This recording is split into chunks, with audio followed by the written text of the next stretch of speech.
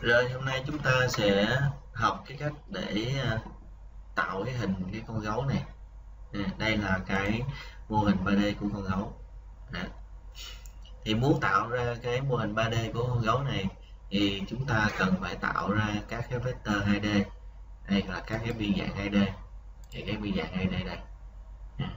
mà các biên dạng 2D này chúng ta sẽ tạo bằng cái cách là vẽ từ cái à, vẽ 2D hoặc là chúng ta cũng có thể là chuyển từ cái file AutoCAD qua. Ừ. thì khi chúng ta có cái file này rồi thì ta mở lên.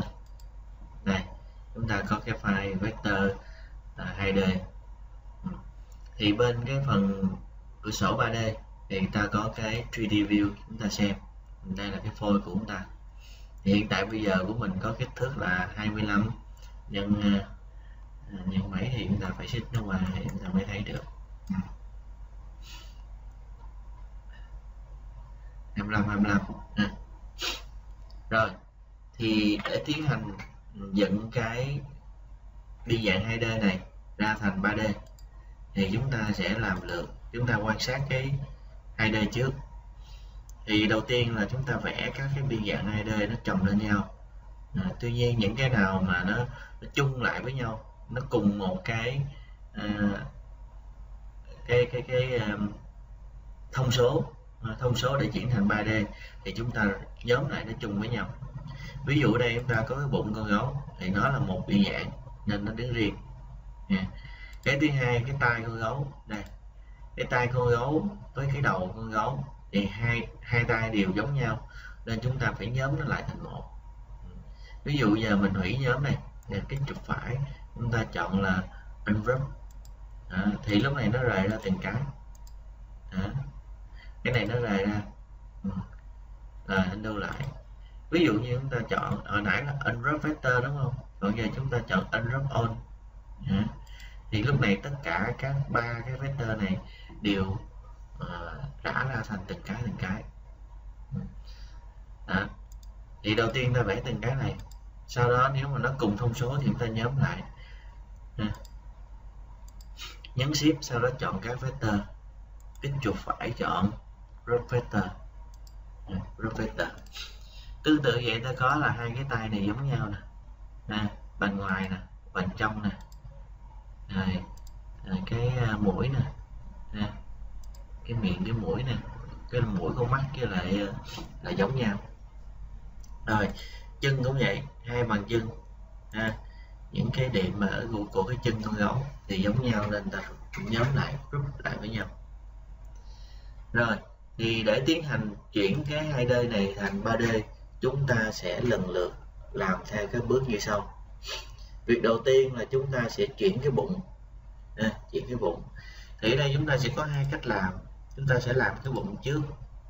Chúng ta có hai cách làm. Một là chúng ta sẽ làm bên cái biên dạng 2D sau đó chúng ta qua cái 3D để chúng ta quan sát. Hoặc hai là chúng ta làm trong 3D luôn. À, ví dụ như muốn làm trong 3D thì chúng ta click vào cái biểu tượng này. À, toggle vector visibility tức là hiện hiện lên những cái vector 2D đó như nó hiện ra vậy luôn. Thì khi chúng ta làm thì chúng ta chỉ cần click chọn ở đây thôi. Đó. còn nếu như chúng ta không quen bên đây thì chúng ta chọn chúng ta click chọn sau đó chúng ta mới điều chỉnh thì qua kia chúng ta quan sát thì ta làm cái thứ nhất trước ha.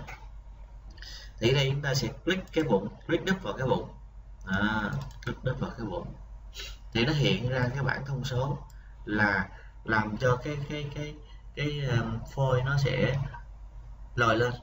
À, và để nó lòi lên được cái kích thước đẹp đó, thì chúng ta phải có cái thông số. Thông số thích hợp. Thì đây có những cái thông số như sau. Ví dụ như chúng ta sẽ ở đây chúng ta sẽ chọn vào cái bon này. À, sau đó chúng ta sẽ khai báo các thông số. Ví dụ như là cái góc nhô lên là 30 độ. À. sau khi em chúng ta click chọn vật góc nghiêng vào 30 độ sau đó chúng ta chọn cái chữ add ha cái chữ add. Ok ta chọn chữ add.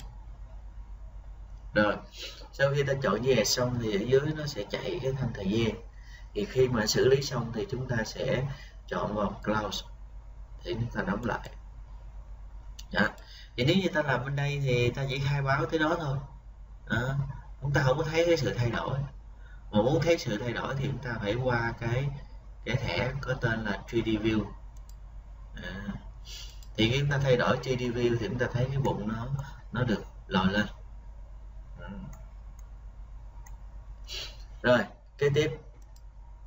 Sau khi chúng ta hoàn thành xong cái bụng xong thì ta tiến hành là làm tới cái tay à, làm tới cái tay thì làm tới cái tay thì chúng ta sẽ làm như sau. Chúng ta chọn vào hai cái biên dạng của cái tay à, chọn vào vector của cái tay đầu tiên chúng ta chọn cái vòng của biên ngoài. Nên vòng tròn của biên ngoài. Ta click đúp vào. Sau khi click đúp vào chúng ta sẽ nâng nó lên. Ta chọn plane. Nâng cao nó lên một đoạn là 0.5 à, chúng ta chọn tiếp là merge 2 à, sau đó chúng ta nhấn ship chúng ta chọn luôn cái vòng bên trong. À, chọn luôn vòng bên trong. À, và tiếp tục chúng ta sẽ sẽ kéo nó lên nhưng mà ở lựa chọn là row ở lựa chọn row đây. À, và chúng ta nâng nó lên một đoạn là 0.5 0.5 rồi kế tiếp là chúng ta sẽ góc góc bo của nó là 45 độ. Sau đó ta tiếp tục chọn merge 2 đó. Rồi, nhấn close. Như vậy là chúng ta đã tạo ra được một cái biên dạng của cái tay như thế này. Ừ. Ok.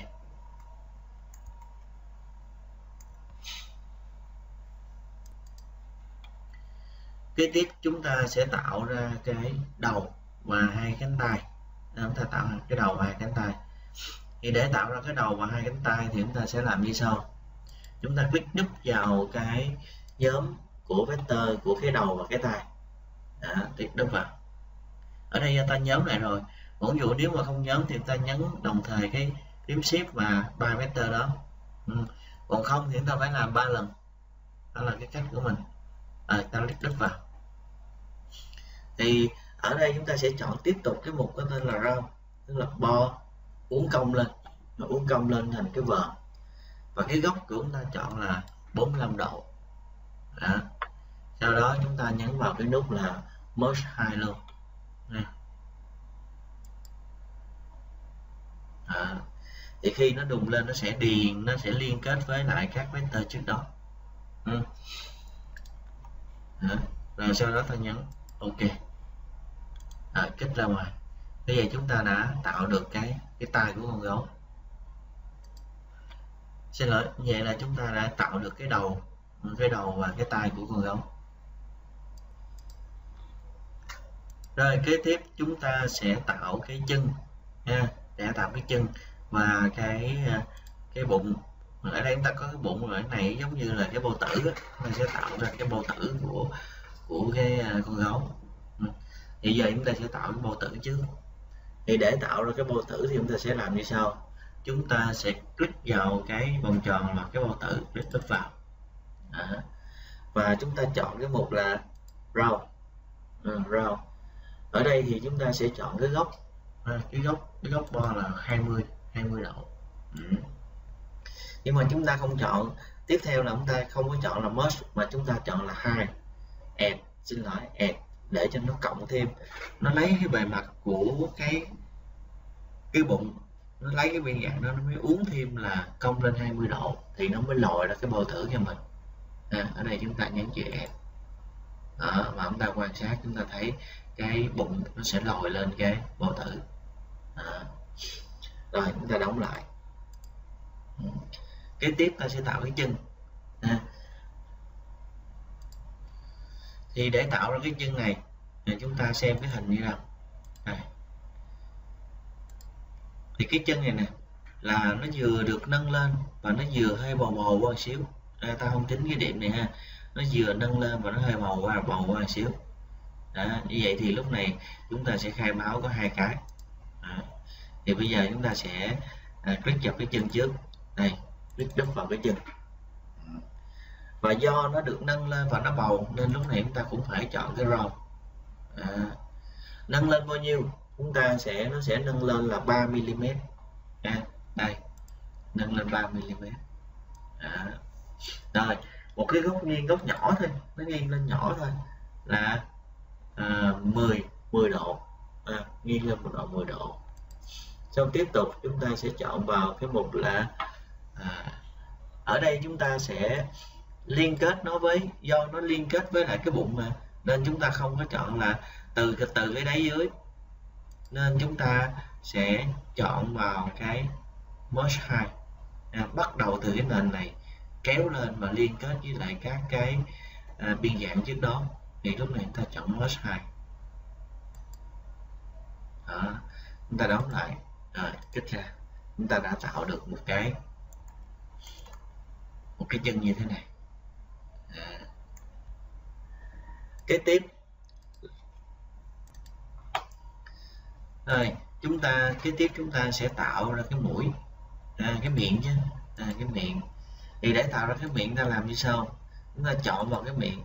À, sau đó chúng ta nâng lên một góc. À, chúng ta sẽ do cái miệng nó nó bầu mà nên chúng ta cũng vẫn tiếp tục chọn cái rau này. Và chúng ta nhập cái góc à, cái góc là 30 độ. Ừ. Và tiếp theo là chúng ta chọn cái một là do nó cũng nhô lên mà nó nhô lên so với cái cái mặt của nó. Từ cái mặt nó nó sẽ nhô lên. Lúc này chúng ta chọn ẹt. Nha. lấy cái lấy cái cái mặt đầu nè lấy cái đầu là biên dạng đầu nè nhô lên một đoạn là, là một góc là 30 độ. Chúng ta chọn cái ẹt. Lo. Như vậy là cái miệng đã được nhô lên. Ừ. và cũng tương tự ừ, cái điểm ở dưới cái chân thì chúng ta cũng sẽ làm như sau.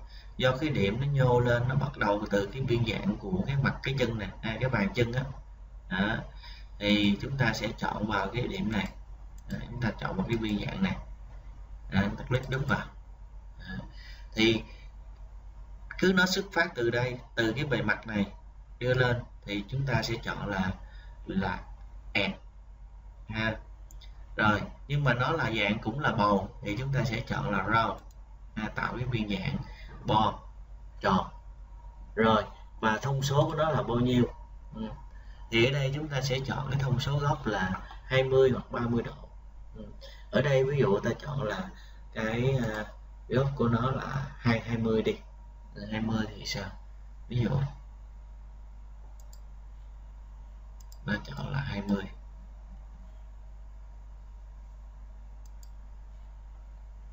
và ta chọn là add đó. lúc này ta thấy những cái bàn chân nó được nhô lên. Đó.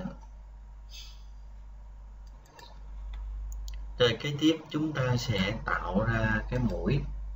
Cái mũi của của cái con gấu. Đây ta click vào cái mũi. Và cái mắt luôn. Hai này được nhóm chung với nhau ha.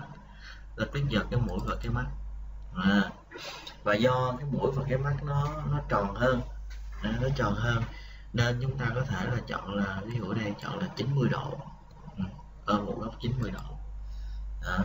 và nó được thêm lên cái biên dạng của cái mũi hay của cái miệng nè, và của cái đầu nè. Nên chúng ta sẽ chọn là chữ S đó. rồi, nhấn clone rồi, cái ra ngoài như vậy lúc này chúng ta sẽ có được cái cái mũi của, cái mũi và cái mắt của con gấu.